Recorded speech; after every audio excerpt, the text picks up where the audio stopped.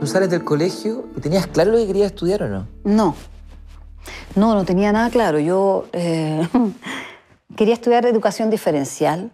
¿En serio? Sí, claro. Ah, sí. entonces de ahí realmente viene toda esta vocación de los niños y todo, Sí, ¿no? claro. Y postulé a educación diferencial, que es lista espera, Ya. o sea, preseleccionada, porque había que dar un examen especial. ¿Ya? Luego postulé a actuación. ¿Por qué? No me pregunté porque no sé.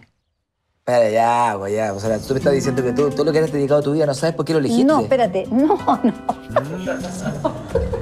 No, porque, a ver, eh, mi experiencia con el teatro era mínima. Yo había visto una obra de teatro en mi vida. Teníamos que ir por el colegio a ver El burgués gentilhombre de Molière al Sí. Teatro La Católica. Ya, perfecto. Perfecto. Yo llegué a esa función escolar, 3 de la tarde, y entro al teatro, el teatro lleno de niños, y empiezo a mirar y no había nadie de mi curso. Nadie fue a ver la obra. Entonces yo me senté atrás, en la última fila. Pero como yo era corte vista, veía poco y me empecé a correr, a correr. Al final terminé sentada en primera fila, alucinada, viendo la obra. No podía creer que este mundo, este universo existía. Todo lo que de alguna manera yo imaginaba de niña, cuando yo me caracterizaba en la casa y me disfrazaba, porque me disfrazaba de niña, yo agarraba las corbatas de mi papá, me las ponía así y le hacía un nudo aquí y las dejaba que colgaran. Y me chantaba una bata de mi mamá con tul en la cintura como si fuera un vestido largo. ¿Y tu papá feliz cuando se lleva la corbata el otro día? Toda arrugada. Todas arrugadas. Bueno, pero cuando vi esa obra de teatro dije, churra, esto es, es posible, es real. Pero no tenía conciencia de que a mí me gustaba eso y que yo quería ser actriz. No, no me imaginaba nunca, te juro por Dios santo que no. Ya, lo que pasa es que yo esto lo encuentro increíble. Yo tengo aquí dos monedas. tengo esta moneda de 50, esta de 1982. Ya. La moneda, mira, 1982. Perfecto. Y esta es 1984. ¿Ya?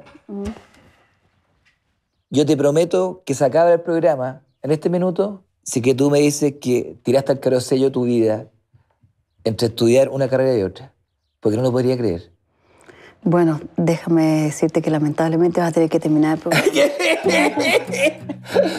Tú me estás diciendo que tuviste así. Sí, señor. ¿Así? ¿O educación diferencial o teatro? Sí, así mismo. No, te lo... Te juro, así fue.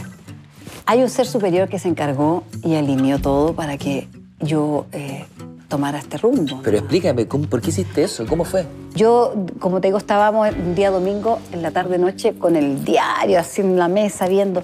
Los ya, puntajes, qué es lo que alcanza, no alcanza, la ¿qué lista hago? espera. Eh, No, ya estábamos ya con el resultado de lo que había yo postulado y todo.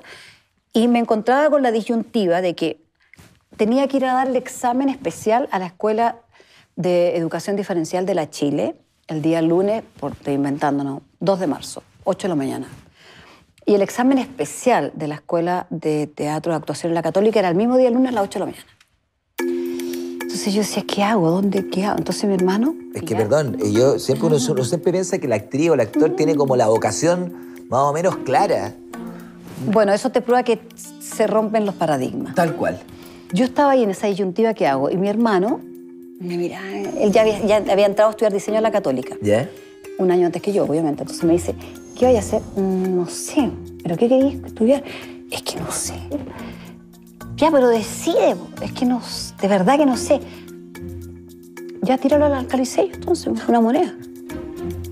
¿Tú crees? Sí, ya, ok. Y él sacó una moneda, ya me dijo, si sale cara, vaya a dar el examen a la escuela de teatro. Si sale sello, vaya a dar el examen a la, a la escuela de educación diferencial. Ya, ok. Pum. Cara.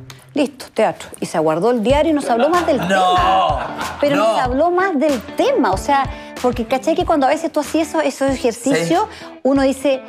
Igual, igual si uno después de duda dice, bueno, pero en Sí, realidad, sí, no hay sé. gente que dice, no sé, será No, muy será arriesgado, mucho. era eso. Ah, entonces quiere decir que querías lo otro. Claro. Y ya, y vaya lo otro. No, yo, listo, ya, ok, guardamos el diario, buenas noches los pastores, que listo. Y cuando vi que quedé, lo primero que dije, bueno, si quedé es porque debo tener dedos para el piano. Esto, ¿sabes que Esto es el colmo, esto es... esto no se puede llevar, es intolerable esta situación. Y yo con la niña viviendo además como si fuéramos indigentes. Pero si te paso Aguirre. fortuna todos los meses. En África será una fortuna, aquí en Santiago de Chile una miseria. Qué loco, o sea, yo digo una de las mejores comediantes, las mejores actrices de nuestro país, dos premios al Tesoro y resulta que fue con un caro y sello, no, no, no lo puedo creer. Así nomás, así fue.